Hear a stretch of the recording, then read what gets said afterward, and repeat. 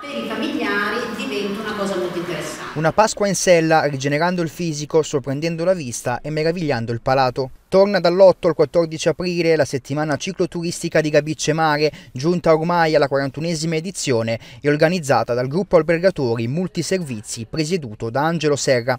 Sette giorni alla scoperta del magnifico entroterra marchigiano con altrettante uscite in bicicletta. Questo è un evento per Gabice Mare molto storico.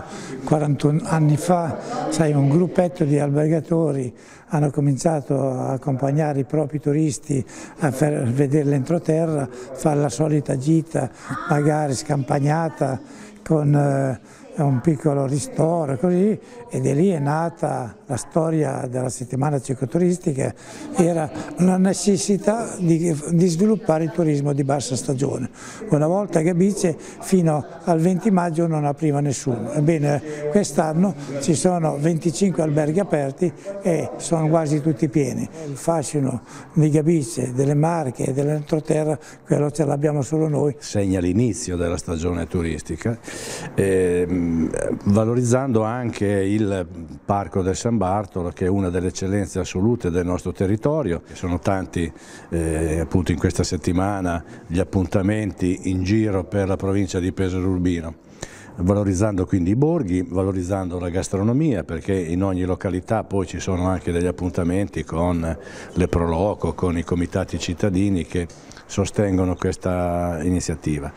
La GAM e l'Associazione Albergatori dimostrano di stare sul pezzo, di lavorare concretamente, ad altri lasciamo le chiacchiere. Sette le meravigliose uscite fuori porta programmate per i partecipanti. Si percorreranno dai 46 ai 90 km con soste in cui sarà possibile gustare i tanti prodotti tipici dell'entroterra. Le tappe sono mm, Monte Labate, Gallo di Petriano, Valle Foglia, Monte Calvo in Foglia. Queste sono le, diciamo, le tappe dove poi noi abbiamo organizzato anche i vari pranzi e le degustazioni molto, molto importanti. Eh, dicevo appunto il Parco Naturale del Monte San Bartolo per perché dà quel fascino e dà quel senso di sportività che altre tappe magari non danno perché senti un po' il sapore della competizione. Diciamo che l'abbiamo studiato in un modo che il cicloturista italiano e straniero sicuramente ritornerà anche durante l'estate. Con oggi parte eh, veramente la stagione, speriamo che sia una, una settimana buona, abbiamo anche una, un importante